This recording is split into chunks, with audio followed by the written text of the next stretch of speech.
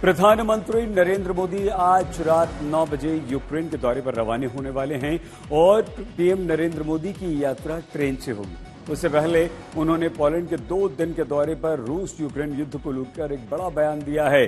प्रधानमंत्री नरेंद्र मोदी ने कहा है कि युद्ध के मैदान में किसी भी समस्या का समाधान नहीं हो सकता और ये युद्ध पूरी दुनिया के लिए चिंता की बात है।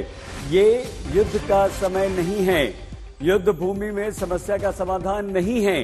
प्रधानमंत्री नरेंद्र मोदी ने बहुत बड़ा बयान दिया है और उस बयान में उन्होंने कहा है कि यूक्रेन में संघर्ष दुनिया के लिए चिंता की बात है। सुनिए।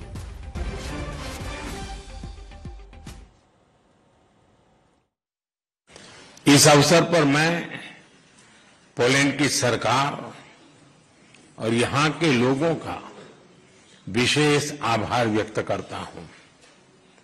आपने 2022 में, यूक्रेन कॉन्फ्लिक्ट में फंसे हुए भारतीय स्टूडेंट्स को निकालने के लिए जो उदारता दिखाई, उसे हम भारतवासी कभी नहीं भूल सकते।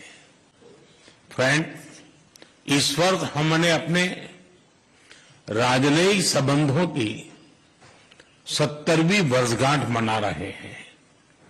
इस अवसर पर हमने संबंधों को स्ट्रेटेजिक पार्टनरशिप में परिवर्तित करने का निर्णय लिया है। भारत और पोलैंड के संबंध डेमोक्रेसी और रूल ऑफ़ लॉ जैसी साझा मूल्यों पर आधारित है। आज हमने संबंधों को एक नई दिशा देने के लिए कई इनिशिएटिव्स की पहचान की है। दो लोकतांत्रिक देशों के रूप में हमारी पार्लियामेंट के बीच आदान प्रदान को बढ़ावा दिया जाना चाहिए।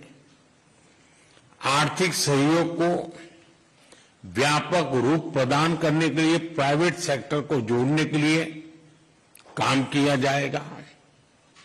फ़ूड प्रोसेसिंग के लिए क्षेत्र में पोलैंड वर्ल्ड लीडर्स में से है।